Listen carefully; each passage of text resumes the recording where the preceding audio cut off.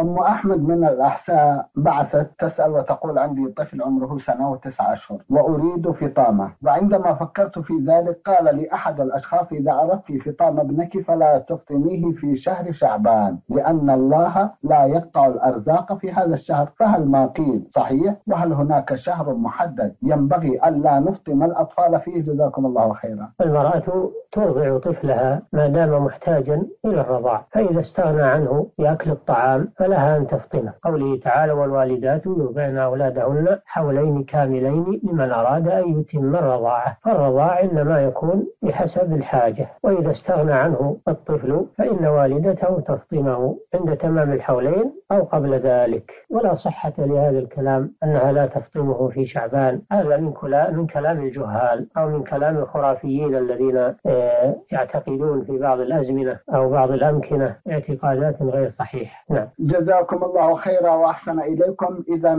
إفطام الأطفال في شعبان أو في رجب أو, أو في أي شهر من أشهر العام جائز. ليس له شهر معين. الحمد لله. نعم. جزاكم الله خيرا وأحسن إليكم.